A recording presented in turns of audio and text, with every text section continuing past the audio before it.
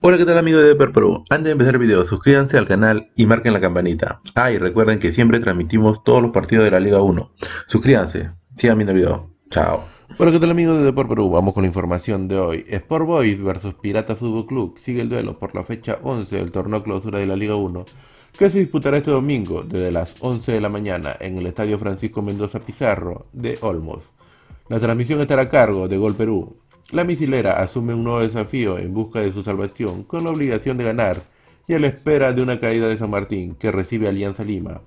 Para dejar la zona de descenso, sigue el minuto a minuto, estadísticas y goles del enfrentamiento en nuestro Instagram, el Dios de los Deportes.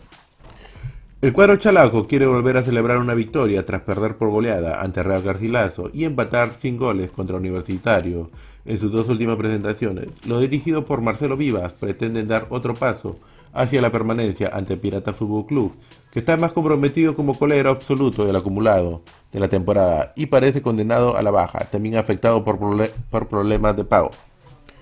Sport Boys marcha penúltimo en la tabla que definirá a los dos equipos que dejarán la Liga 1 con 25 puntos a solo uno de San Martín, mientras que el conjunto norteño comandado por Carlos Cortijo es último de la clasificación general.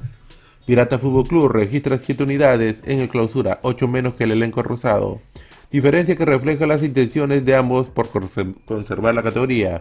En el último torneo del año, los porteños escaparán de la zona de descenso si se imponen a domicilio y San Martín no derrota a Alianza Lima en la jornada. Bueno muchachos, antes de irnos suscríbanse al canal, denle like al video y cuídense. Chao, hasta luego.